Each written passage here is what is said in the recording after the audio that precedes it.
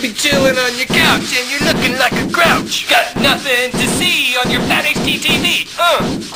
So you get up off your ass and decide to mow the grass. But your brain is feeling numb and you're looking hella dumb. It's a chore, it's a bore. The hell is it all for?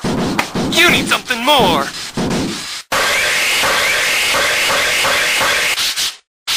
If you could, you know you would. You could be chilling like you should and maybe working, working, working with your wood. Carpenter on TV, making it look easy. He's the boss, he's the best, this ain't no freaking test. So get a simple mission, make decisions with precision. Get some lumber to transform and remember. Abram ain't the norm, the norm. Abram ain't the norm.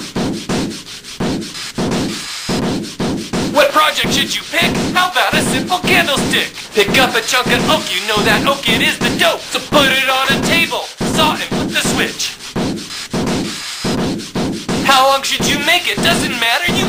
it. Whatever you decide, just remember, it ain't about the size. Head over to your router, no tool could be much louder. Let your bit do the trick and make the edges rounder. You put them both together, glue a nail, whatever.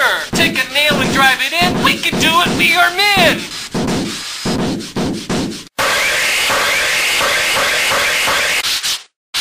If you could, you know you would. You could be chillin' like you should and maybe working, working, working with your wood. You may think that it ain't cool to learn to use some tools. I can't rap, but I can try. I'm just a middle-aged white guy.